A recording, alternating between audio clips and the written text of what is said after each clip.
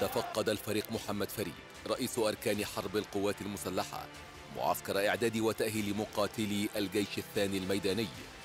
وذلك في إطار متابعة القيادة العامة للقوات المسلحة للإجراءات التي يتم من خلالها إعداد وتأهيل الأفراد المقاتلين للعمل بشمال سيناء وذلك باستخدام أحدث وسائل التدريب القتالي التي تحقق الواقعية بما يتناسب مع طبيعة المهام التي سيكلفون بها.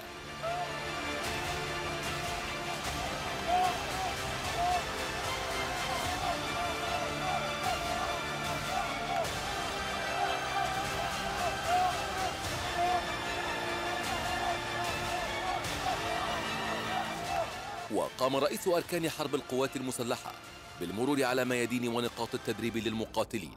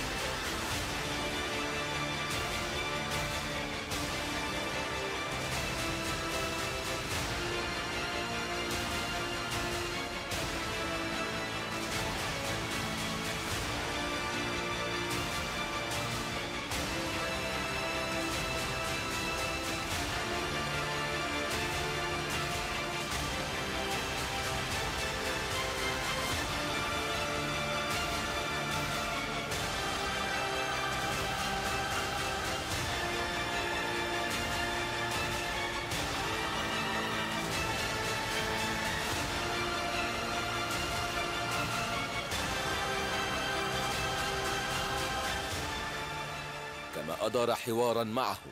نقل خلالها تحيات وتقدير السيد الرئيس عبد الفتاح السيسي رئيس الجمهورية القائد الأعلى للقوات المسلحة والفريق أول محمد زكي القائد العام للقوات المسلحة وزير الدفاع والإنتاج الحربي.